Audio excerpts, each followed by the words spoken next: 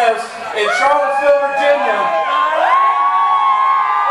And if you like what you hear tonight, come on out to Charlottesville August 24th through 26th, and you'll get a chance to hear Alice Creeper play again at Virginia's own Blue Ridge Bloodfest. You can see me tomorrow for a flyer, and I'll give you all the details, but we hope to see y'all out there. And now, let's give a big warm welcome to Virginia's own, Creeper!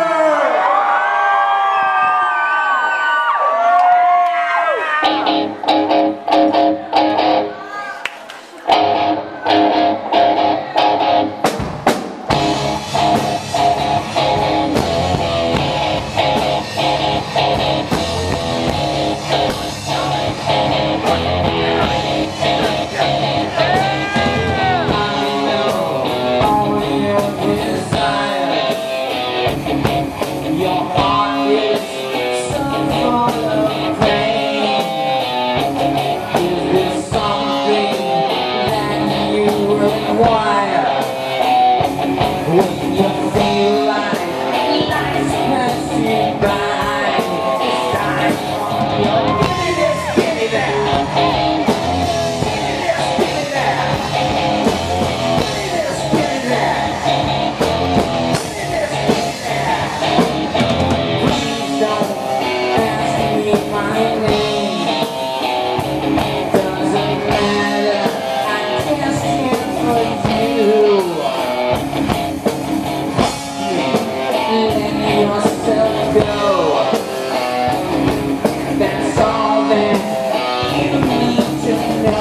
Yes, I'm on your side.